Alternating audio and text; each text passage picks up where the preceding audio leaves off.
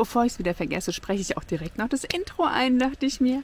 Hallo aus Girocasta. Wir gucken uns jetzt äh, die Stadt an. Es ist ein weiter, weiter Weg. Ich bin nämlich auf dem Campingplatz und äh, muss jetzt eine ganze Weile durch die knalle Sonne laufen. Los geht's!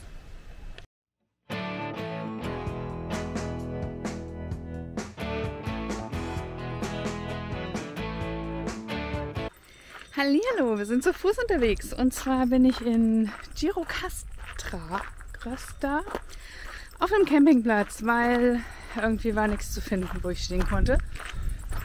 Und ähm, ja, jetzt laufe ich vom Campingplatz in die Stadt. Ist ein ganz schönes Stück. Da kommt wieder das Fahrrad ins Spiel. Also ich werde, wenn ich heimkomme, bei Kleinanzeigen nach einem Fahrradträger gucken. Ich habe hier so ein schickes Tuch auf dem Kopf, weil es einfach bullig heiß ist und ich habe das nass gemacht und das ist echt angenehm. Ich zeige euch mal hier die Straße, die ich jetzt lang laufen muss. Nicht so nice, aber was soll ich machen? Fahrrad wäre natürlich viel, viel geiler. Habe ich aber nicht. Ich habe echt Angst, ey. Die fahren ja wie die Irren hier. Aber ich habe auch keine Lust, 5 Euro. Ich habe auch keine Lust, 5 Euro für den Campingplatz Shuttle Service zu zahlen. Und dann auch wieder zurück. Also einen Weg hätte ich vielleicht gemacht, aber ach ja, laufe ich halt, ne? Bisschen Abenteuer. Abenteuer mal anders. Ähm ja, guck, der Kamera ist es auch schon zu viel. Die Hitze, der Stress, die Autos. Na egal, auf jeden Fall laufen wir jetzt nach Girocasta. Fertig. Oder wie das auch immer heißt, das Ort. Hier ist der Campingplatz, ist ganz schön. Die Berge drumherum finde ich ganz cool. Kostet allerdings 20 Euro. Fände ich super, wenn ich zu mehreren wäre, weil das ist pauschal für den Stellplatz. Und ähm, ja, also egal wie viele Personen, ne? Ist ein bisschen schade, weil ich bin ja alleine unterwegs. Und ähm, wäre ich zu viert, würde ich auch nur 20 Euro zahlen. Schade, aber so ist es nun mal. Ja, äh, was soll ich sagen? Blue Eye war mega cool. Habt ihr die Bilder gesehen und äh, mal gucken, wie es die Rocasta wird. Castra, Casta. Ich weiß auch nicht, wie es heißt. Los geht's, weiter geht's. Da hoch wollen wir. Ich weiß gar nicht, ob man es überhaupt sieht. Aber da auf dem Hügel ist die Burg, da wollen wir hin. Girocastra heißt auch die Stadt der tausend Stufen. Ja, bin ich mal gespannt, ne? Wie anstrengend das jetzt gleich wird. Guckt, was ich Cooles entdeckt habe. Ein Verkehrsübungsplatz, so ein Fahrradübungsplatz. Erinnert ihr euch noch an die Fahrradprüfung? Musstet ihr das auch mal in der Grundschule? Also ich habe ja mit Wimpel bestanden und ihr so? Voll cool. ja, wir sind auch schon bald da. Guckt da vorne. Sieht man schon den Turm von der Burg. Auf der Suche nach der Altstadt. Ich habe nämlich mein Internet im Bus vergessen. Und jetzt, äh, ja, besteige ich Berge und weiß gar nicht, ob ich richtig bin.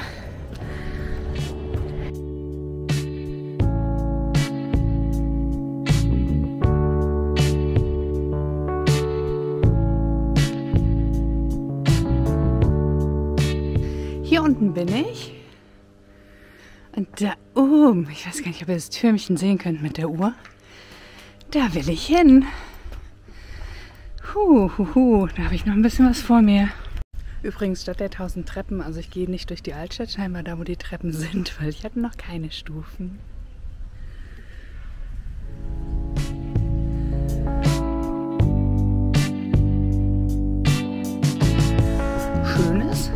Schatten und es gibt Wind. Das ist großartig.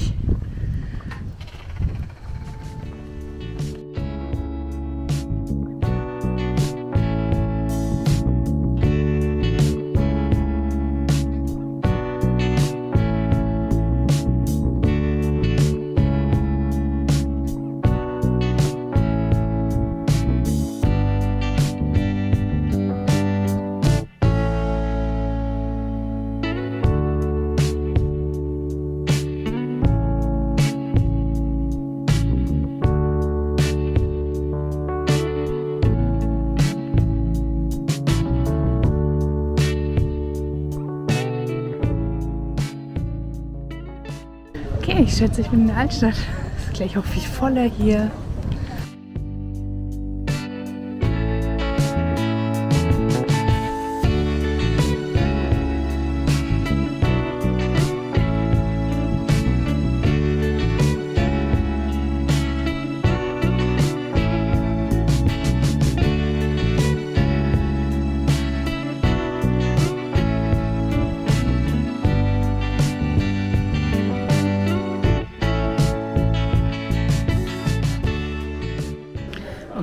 Wir sind da und wir sind drin im Castle. 400 Leck hat es gekostet.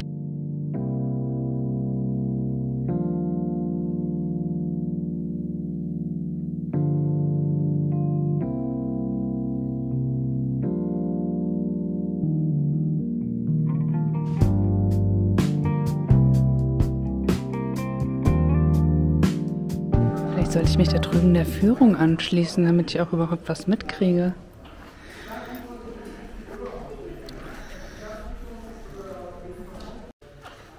Würde wohl den Rahmen dieses Videos brechen, jetzt hier die Geschichte zu erzählen.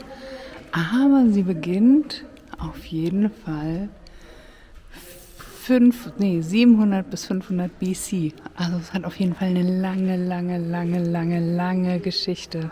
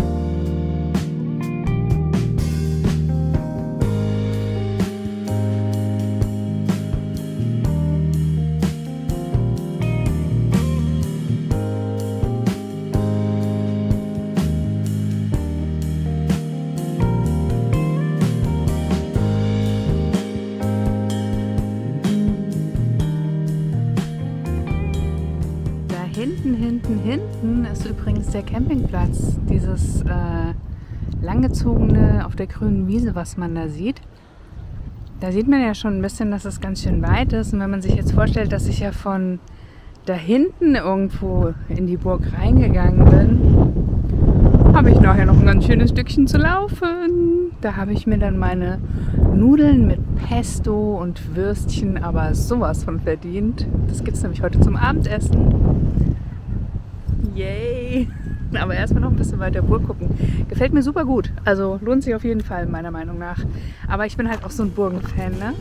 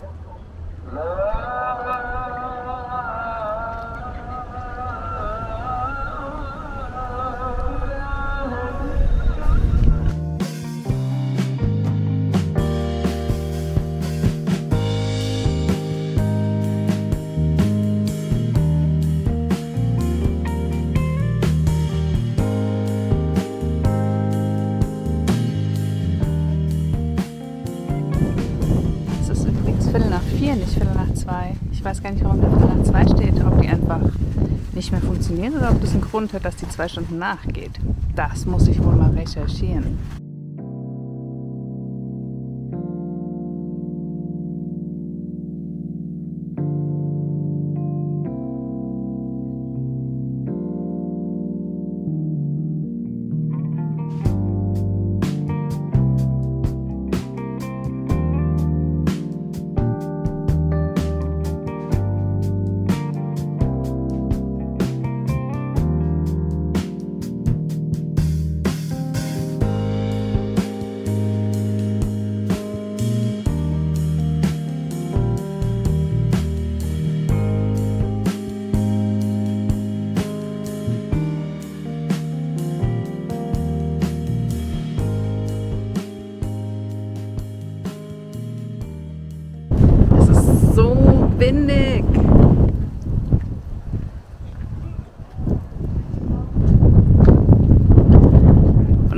So, so cool.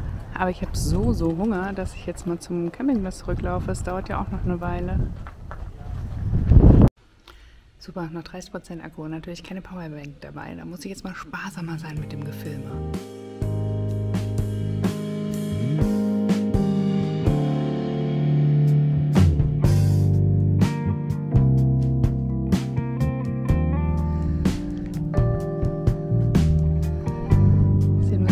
Gefängnis.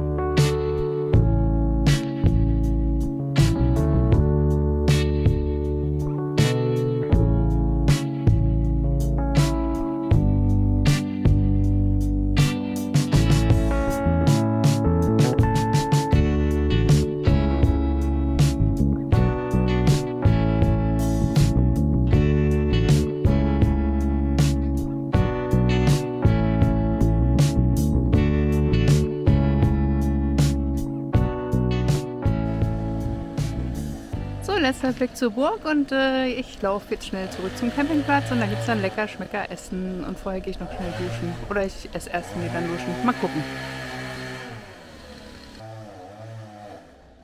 Bye bye, schön war's. Ich habe übrigens mal wieder keine Ahnung, ob das der richtige Weg ist, aber er ist auch zu Fuß abenteuerlich.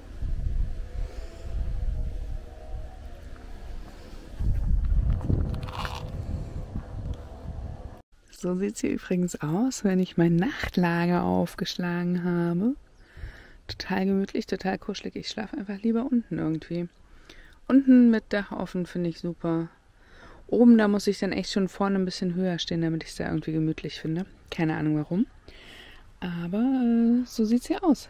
Sehr, sehr kuschelig auf jeden Fall. Heute Nacht war es frisch, deshalb habe ich hier noch die extra Decke dabei. Ja, sehr, sehr schön. Jetzt muss ich mal gucken, was ich heute mache. Fahre ich weiter oder mache ich einen Pausentag? Ich bin unentschlossen. Ich mag das nicht.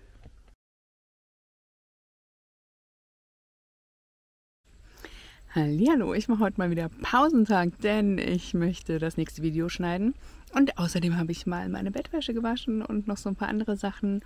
Und ähm, deshalb stehe ich heute nochmal auf dem Campingplatz. Ich zeige euch mal mein Plätzchen. So, da stehe ich mitten in der Sonne leider, weil gestern waren alle Schattenplätze belegt. Heute sind sie natürlich alle frei geworden, aber ich packe jetzt nicht nochmal um. Da hinten trocknet schön. Die Bettwäsche ist schon fast trocken. Und ähm, ja, ich sitze schön hier hinten unter der Heckklappe im Schatten. Und ähm, warte jetzt noch ein bisschen, bis das Video vielleicht hochgeladen ist. Mal gucken, wie schnell es funktioniert, ob es funktioniert. Und dann werde ich nochmal in die Stadt gehen ja, und dann schaue ich mal nach Postkarten und äh, nach ein paar Mitbringseln für meine Patenkinder und so. Und ähm, habe noch ein bisschen Bewegung. Es ist super heiß heute. Heute ist leider nicht so windig wie gestern, weil der Wind gestern, der hat echt geholfen. Äh, den haben wir heute nicht, aber es wird bestimmt trotzdem ganz wunderbar. Und ähm, ja, sonst werde ich noch ein bisschen Buch lesen und Fred mal ein bisschen äh, ausfegen und solche Sachen. Und ähm, weil es heute alles nicht so spannend wird, sehen wir uns dann einfach morgen wieder. Bis dann. Ciao, ciao. Hallihallo und guten Morgen. Ihr wisst Bescheid, das Video soll nicht so lange werden. Deshalb ist hier jetzt auch Schluss. Das war Girocastra und ähm, wir sehen uns im nächsten Video. Ich freue mich, wenn ihr wieder dabei seid. Ich freue mich, ihr wisst Bescheid, über einen Daumen hoch, einen Kommentar und ein Abo. Und dann sehen wir uns im nächsten Video.